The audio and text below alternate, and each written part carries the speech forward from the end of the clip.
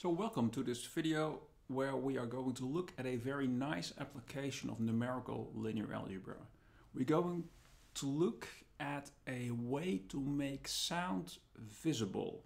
So as you may recall from physics that you had in high school, if you look at a string like a guitar string and if it vibrates producing a certain tone, then you know that it has a standing wave which means that here is a little picture. If you would look at a graph where on the horizontal axis you put the x coordinate, on the vertical axis you put the height of the string at a certain moment in time, then basically what we have is a function, you could describe that with a function u that depends on both x and t. So at a certain location, you know the height of the string as a function of time. And then what you also know from physics is that there is parts of this string where we do not have any motion, like here. And there the height remains zero in time. And then here in red are what are being called antinodes. And there the amplitude is maximum of the height of the string as a function of time. So let's look at a short video that shows such a string and which of the standing wave patterns it can occur here.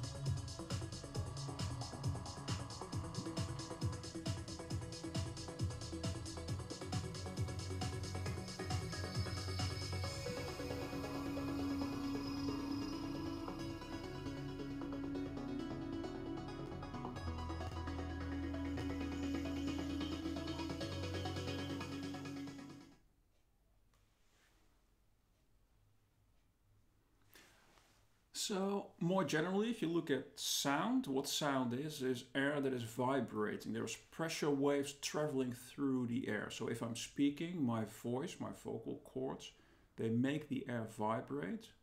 The pressure waves reach your ear and they're being translated back into something that your brains understand as me talking. Also, if you look at musical instruments like string, membrane and so on, it's all different ways of making air vibrate. So these are things that we cannot see yet. And there has been a person called Ernst Chladni and he did an experiment to try and make sound visible. So what he did was take a thin metal plate and he fixed it in the middle as you can see on the stand here. So if you look here in the middle, the plate is fixed and the ends are free to vibrate. And then he used the bow of his violin to make the plate vibrate and he put a little bit of sand on top of it. Now, just as we have seen for the guitar string, which has parts that do not move, the nodes, for a 2D situation like here, for the plate, you get nodal lines. So you get lines that do not vibrate and other parts of the plate have maximum vibration. So he wrote this down in a book called Entdeckungen über die Theorie des Klanges. And he's called the father of acoustics because he was the first one to do these types of experiments. So in this book in from 1787, he made drawings of the patterns that he observed when the plate was vibrating. So here on the next slide, you see a couple of the drawings from Ernst Chladni's original book. So he made these himself. Now what we will try and do is see if we can do MATLAB simulations to reproduce these results. Now before I do that, I would also like to look at a modern version of his experiment.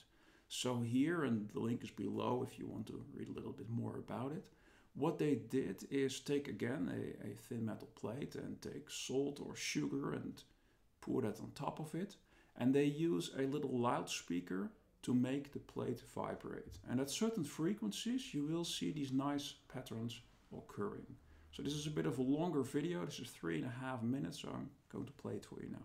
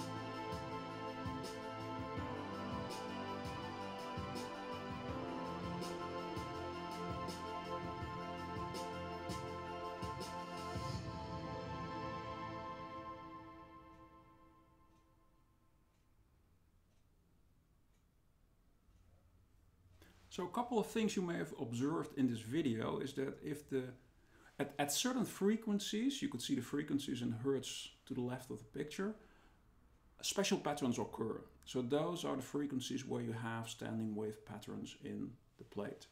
And what you also see is if the frequency goes up, these patterns get more complicated. So you get more interesting, more complicated patterns for the higher frequencies. Now what we will do in the next part is try to write down the mathematical equations describing the movement of this plate. And we will try to compute the patterns that you have seen and also the frequencies that belong to that. And what we will see is that this leads to an eigenvalue problem. So we have studied eigenvalue problems during the course and the, this, this results in a, in a big eigenvalue problem. So let's see, the mathematical model. So what we will do is we will consider the plate to be in the domain in R2 from minus 1 to plus 1, both in x and y direction. So we, we are dealing with a square plate here. And then we will say that the vertical movement at position x of y as a function of time is described by z of x and y and t. So what we do is we look at the differential equation.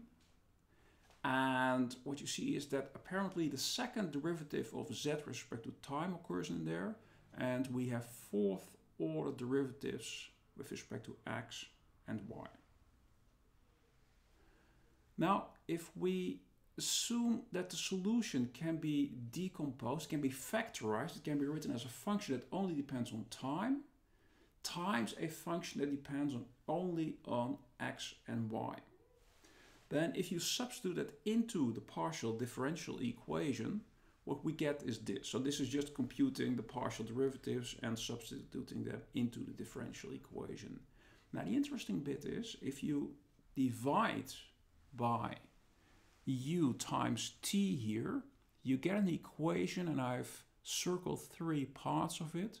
So the blue part to the left of the equal sign depends on time, on t only. The yellow bit depends on x and y. Now if you have a quantity, so they're equal, and on the one hand it only depends on t, on the other hand it only depends on x and y, that means it has to be a constant. So I call the constant lambda here in the red circle, and lambda is called the separation constant. So this technique, you don't have to study that. If you do further courses like in partial differential equations, you will learn how to do this. But here I just want to illustrate how we get from partial differential equation to, in a minute, an eigenvalue problem. So this is the technique that we use, called separation of variables. And the separated partial differential equation is copied onto this slide. And what you see now is if we just look at the left bit, so let me circle that. So if we look at the t bit and then say that equals lambda, then this leads to an ordinary differential equation for capital T. So what we see is that capital T should be a solution of this uh, ordinary differential equation. And we know the solution here, and it's cosine and sine, and there's two constants in there, depending on your initial conditions. Similarly, we could also be looking at the x and y part. And if you write that out, one second, there was a bit of a hiccup here in the presentation. If you write it out, you see that you get a partial differential equation for the function u, because u is a function um, that has two arguments. It depends on two variables, x and y. It leads to a partial differential equation involving derivatives both with respect to x and with respect to y. Now this here, we can, we can do a little trick here. So we introduce the w function, which is uxx minus uxx minus uyy, and then we have a partial differential equation for w. And this is hard to solve, so what we do is we use finite differences. We replace the second order partial derivatives with a central difference approximation and that leads to this equation. And what you see is if you would substitute back for W the U, that we basically get a large eigenvalue problem for the vector u. So I omitted details here, but I just want to show you that this quite naturally leads to an eigenvalue problem. An eigenvalue problem that we can solve. So um, there is a MATLAB script for this. And if you compute the eigenvalues and eigenvectors, then the eigenvalues correspond to the frequencies at which these standing wave patterns will occur. And the eigenvectors, they give these nice colorful pictures that you see here. So in red, I have drawn the nodal lines. The, nodal lines are where u remains zero as a function of time.